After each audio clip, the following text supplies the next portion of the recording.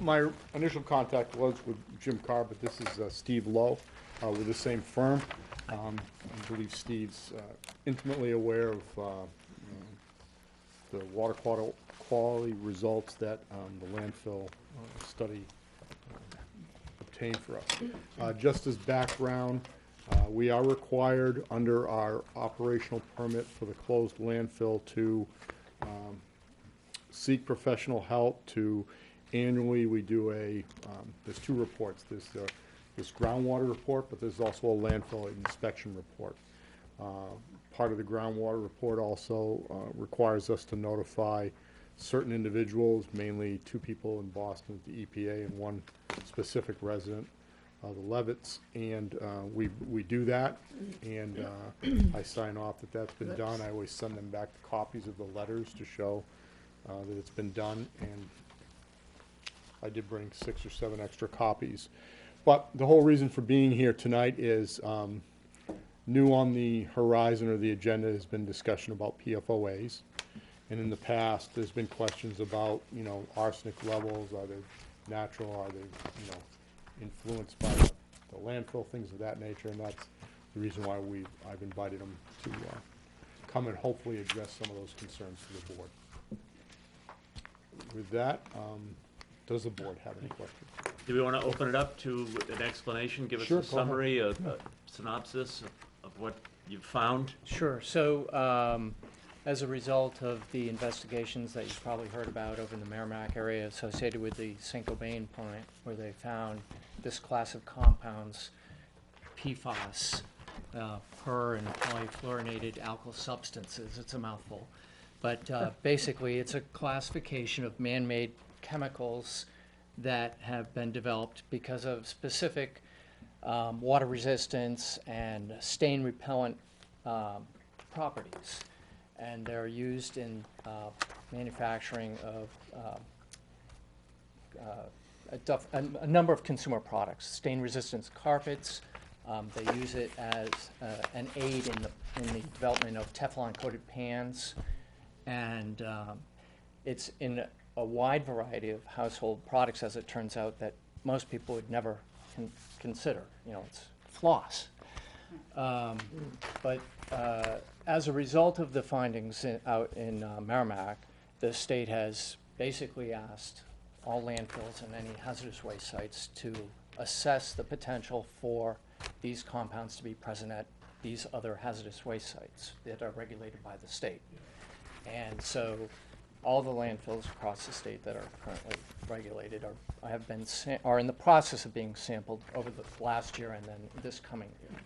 And Hampton was uh, proactive in getting a jump on it at the end of last year.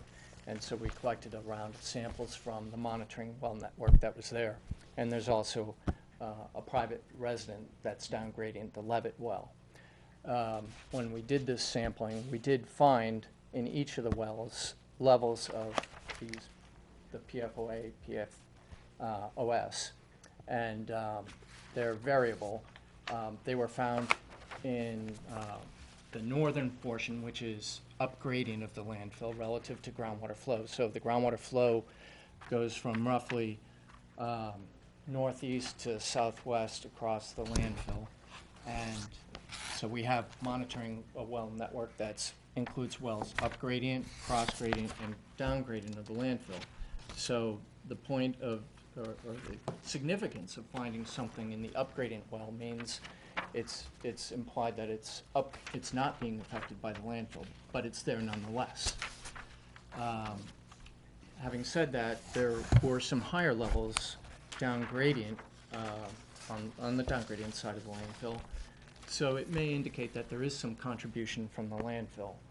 Um, The state has established uh, an ambient groundwater quality standard um, that's used for comparison. Um, So they have a standard of 70 for the compound PFOA and PFOS, and the two of them combined. And uh, the upgradient well and many of the cross-gradient wells were below that standard.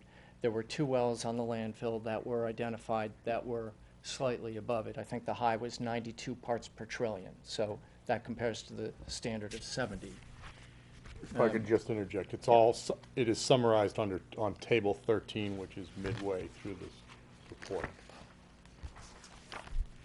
And if you would like, I mean, I also have a, a, a figure I can hand out that actually has those concentrations posted out, if that would Oh, okay, that's be, fine. be helpful. Yep. Yeah, okay.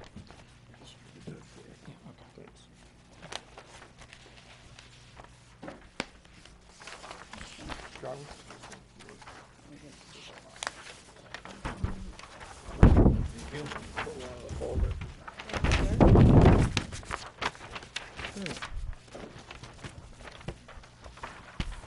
So, just by, so when you're looking at this figure, so MW one in the upper left-hand corner, that's the up gradient well, and you can see it has a concentration of PFOA of twelve, PFOS of ten, and a total of twenty-two.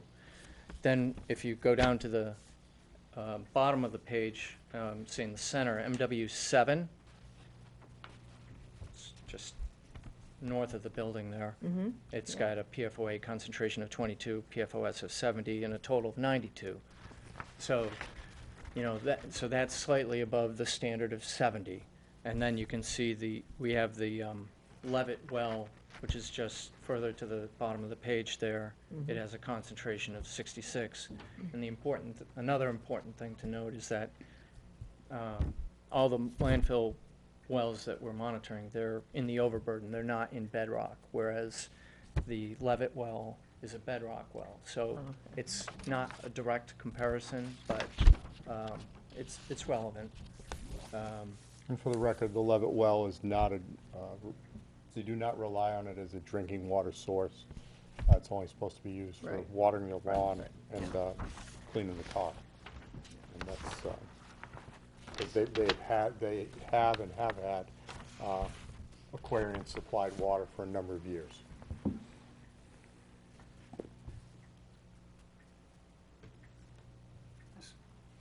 Are, are- are you finished? um, I can go on, but. uh, Okay, well, why don't we open up to questions, Yeah. because we'll start with, with Regina. Sure. Um, so on these monitoring wells, this is just for the purpose of monitoring water from the land, like, none of these are drinking wells or None of going in them. They into are- any type of, Right. They're Drink strictly distribution. monitoring wells because um, things would leach out of the solid waste that we put in the landfill. And when you close a landfill like this, even though it has a rubber cap to it, a membrane that sheds water off, it is still at times in contact with what we call seasonal groundwater levels.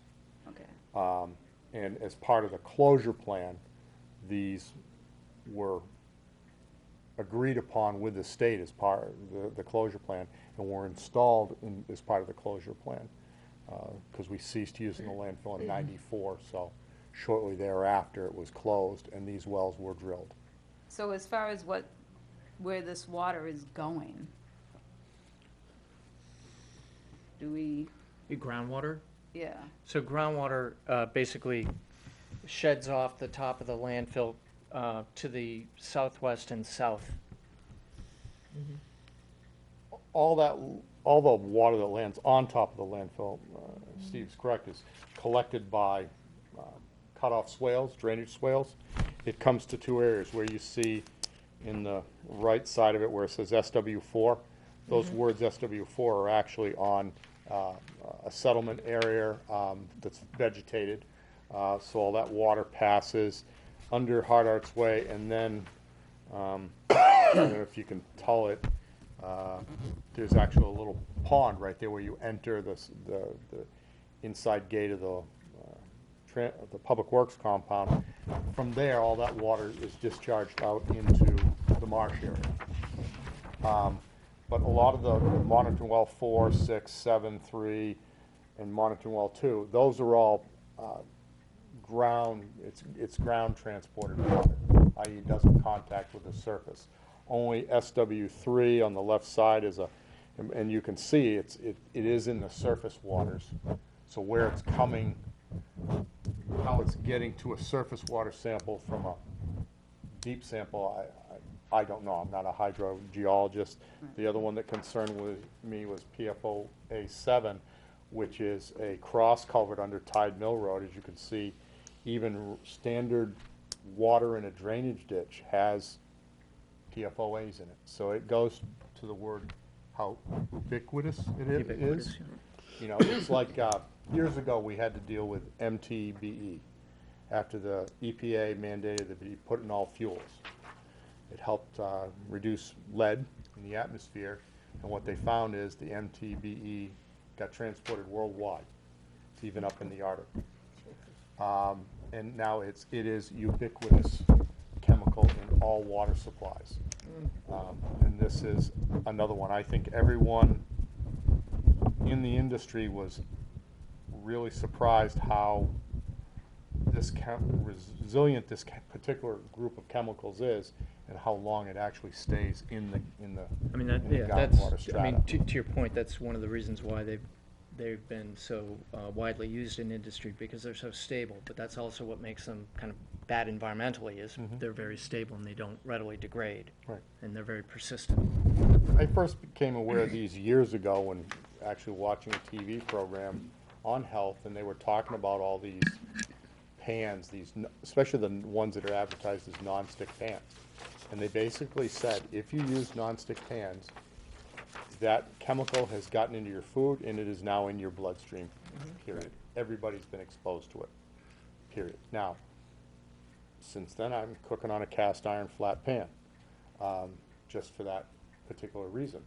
Um, but I'm sure that if my background blood work was done, I'd still have it in my system, totally exposed to it. So, um, it's yet, I think, I'll speak for myself and, and probably Steve, I'm not, the final chapter has not been written on this, there's more to come as we gain more data. I do want to express to the public while we are on camera that, um, through Fred and Jamie's concerns and, and former Selectman Bean, we did pull the trigger on this much earlier than the state and, in a letter to, uh, our consultant and say, please expand your sampling criteria, our, our categories to this particular chemical for all of our wells. I can also tell you that the state's backed off and said, well, Chris, you really only need to grab samples from, let's say, monitor well three and four. I, I, I'd have to go back and look at the actual letter. We continually, with Fred's guidance, have said, no, we're gonna test everything we've always tested in the past to protect the residents in this community. So we, we haven't reduced not only the chemicals that we're looking at, nor the locations, which the state would allow us, but we've elected to take the more conservative approach. And and with the board's blessing, I believe. Rusty? Oh, you, I would just say, so it's safe to say that the town has gone above and beyond what they need to, in the same way that Aquarion is doing for us now. Correct, exactly. All right, thank you very much. Rusty? No, good report. I'm glad we're doing it. I want to continue doing it. We need to stay on top of it. Correct. So, I would agree. Mary Louise? Nothing like humans to poison their planet. Um, I have several questions. When it came time to dispose of the old dump, because that was the dump where everybody went and scrounged for stuff, we on the Board of Selectmen decided that we would have to accelerate our efforts to close the dump, make it a landfill, because the price was going up. At the time this landfill was closed and covered, the feds did not require that you dig out the thirty-two acres of waste and put a liner underneath. So we, in fact, got away with piling up all the debris and covering it over. Um, long run, maybe that wasn't too smart, but then again, it cost us four point five million, and it seemed like a sensible way to, uh, to deal with the issue at the time. In that dump landfill, there was everything. uh, including, and I, one nice gentleman who worked for a gas station locally stopped me one day and he said, you, you know, we used to fill up these big barrels with waste from the gas station. All the fluids and the leftovers and the oils and the stuff. That's all under there. So I'm sure at least some of it's gonna leak. Um, what you have down here in the, well, the southern end, of course, you've got water Yep. down there. And all this stuff is leaching itself down into the water table because the water's not gonna stop. True. The water flow is not gonna stop when it gets down there where it shows Levitt Well, et mm-hmm. cetera. So that water's gonna keep moving. Now, I have neigh- neighbors who are concerned because Little River Road is the first real high ground when you come up from the ocean. But the wells, well seven, which is the old well, and well twenty-two, which has been drilled but is not in use, my neighbors are saying, we're worried about the flow, the direction of the flow from this landfill. Mm-hmm.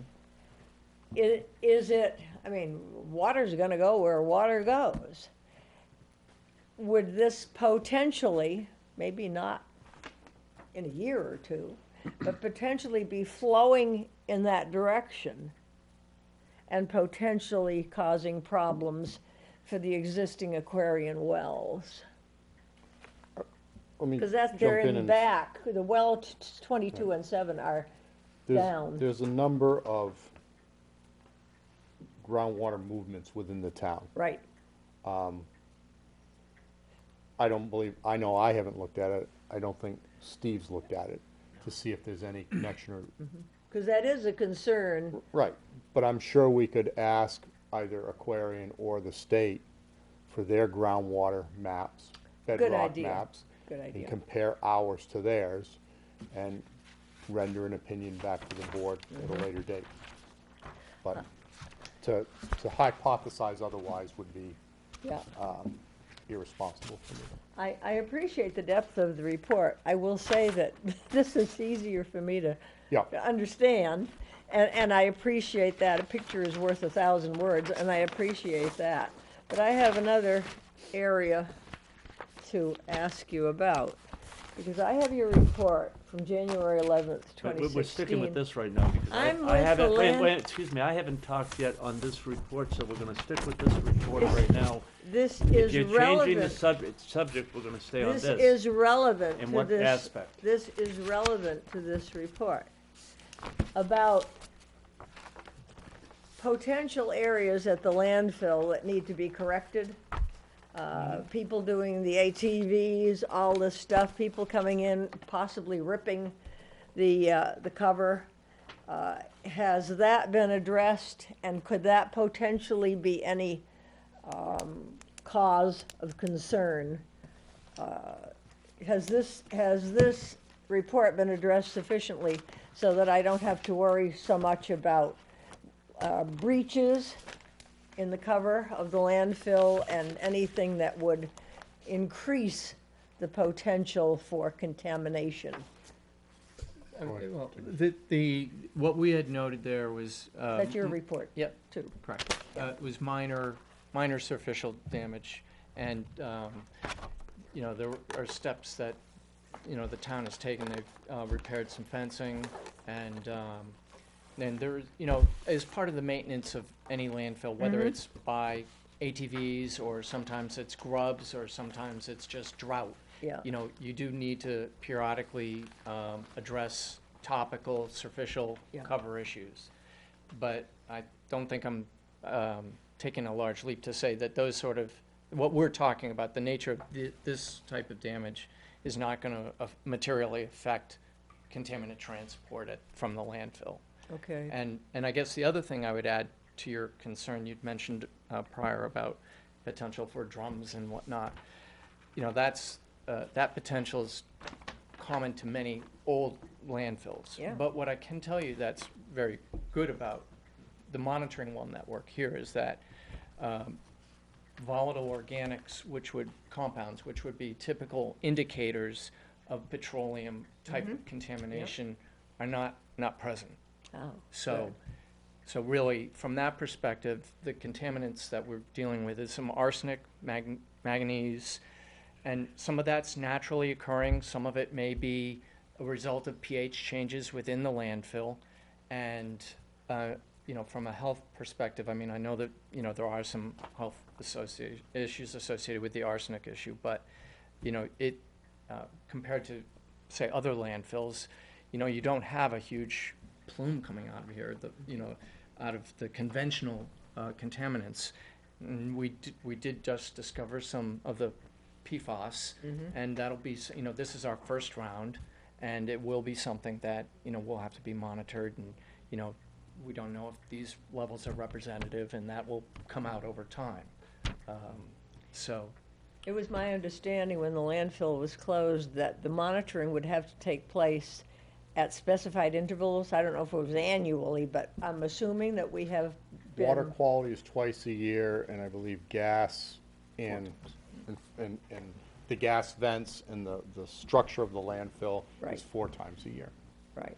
So yes, we, that does continue. To address your question, it was in last year's report that they noted uh, extensive ATV access to the, to the landfill. I, Uh, we, we took steps to remedy that, um, found money within my budget, and basically from SW four all the way down to what would be MW three, um, is now there's a six-foot-high chain link fence.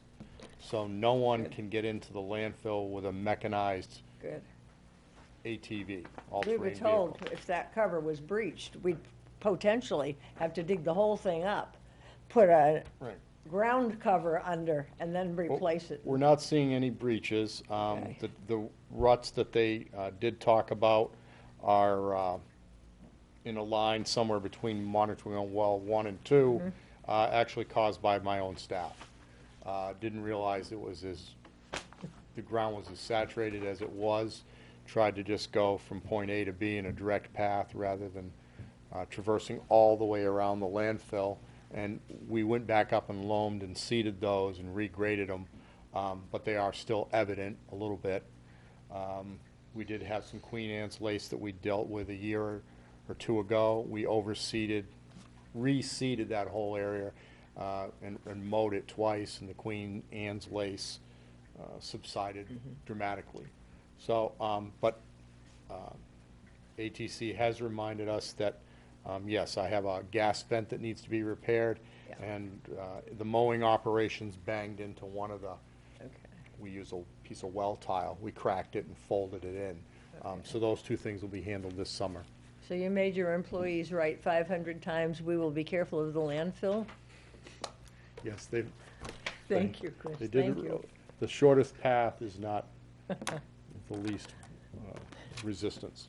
So, yeah, we are actively aware, and every year we do take steps to Yeah, I appreciate maintain the that. landfill. This is a good report. I mean, I read it, it's really good. I mean, and a lot of us are well aware of PFAS and dealing Yep. with Aquarion with their wells and stuff and talking yeah. about that. Yeah. So, I mean, I'm glad that we've got the monitoring wells and we're staying on top of it. Because as this decomposes, or as things keep Right. going down, Mm-hmm. will there be more flow potentially? Could there be? I mean, I'm not asking you to, Yeah. You know, it's, the whole, um, you know, source of the PFAS in landfills is kind of new and kind of unknown, and it's gonna be unique to each landfill and what was put in it. And where in the vertical column of the landfill was it deposited. So it's really hard to predict, you know, uh, with any degree of certainty, you know, what the future trend is. And I think that's, you know, and that's the point of the monitoring, so that you, you, And- you and- are- you keep an eye on it. and currently, if you have those wells there that are high, Yep. that water's going into the marsh? Yes, no? All, sure. all Yeah. groundwater, I would think eventually is making the marsh. Okay, Yes. okay, so, excuse me, I'm listening to these guys, Mary Louise, if you don't mind. So, and that's getting diluted in the marsh, that's getting It's getting. polluting the marsh, that's bothering wildlife in the being- marsh. Well, it's being, some of it's being broken down and attenuated, some of it's being Yeah. absorbed by the plant life, some of it's, uh, um, there's a host of things that would go on. Um, Typically, mar, this type of marsh and all upland, wetland marshes are great purifiers of water. Um, They do for us, or for society, what in some respects we can't do. And, um, that's why, you know, these, the grass swales and, and, and the ones lined with vegetation, they do a great job at, at binding up, uh, these things. Um, binding them up and, and breaking them down over time. Um, but I, I'm nowhere a chemist to tell you how long it takes or, or to what benefit it would take. But hydraulically, that groundwater model to, model that we have, and it's verified by the elevations of the wells, we compare them to each other, is traveling from where you enter Hardardt Way down to basically the entrance to the, the transfer station, and I would presume, barring any other geological formation, that they continue to flow that way, which directly would put them into the marsh. How long they take to go through that is, well, in digging in the marsh, it's, it's, it's a whole different biosphere, if you will. Uh, you know, the, the, it's, it's like a huge active sponge that is far more biologically active than any of the upland areas, so, I don't, but I won't hypothesize any Okay. further on what's going on. Thank you very much for your report. Really appreciate it. Appreciate what you're doing. And please keep us informed, informed. I'm sure everybody wants. We have a new bid, uh, um, ATC Group has been our vendor for the last six years that I've been here. Um, we do have a new bid that we're gonna, we're required every three years to put it out to bid. Uh, that gets opened, I believe, Thursday afternoon. Um, We'll either be working with ATC or an equally competent, um, firm. But, uh, this is mandated by the state and the EPA indirectly. We'll continue to do it. Thank you very much. Okay. Uh, Just real quick, Chris bid for what? Landfill monitoring services. Okay. Because anything over fifteen thousand dollars in the combination of the actual physical work, the report writing, and the lab analysis puts it Okay. over fifteen annually. So we've uh, continued to uh, pursuant to the town's purchasing policies, uh, put this out to bid every three years. Excellent. Thank you. Yep. Anybody has anything else? And if you have any other questions, uh, if they come up later, or if uh, Selectman Griffin has them, uh, pass them on to the manager, I will pass them on, and we'll definitely get you some Will answers. do. Thank you very much. Thank you. Thank you Anytime. for coming in.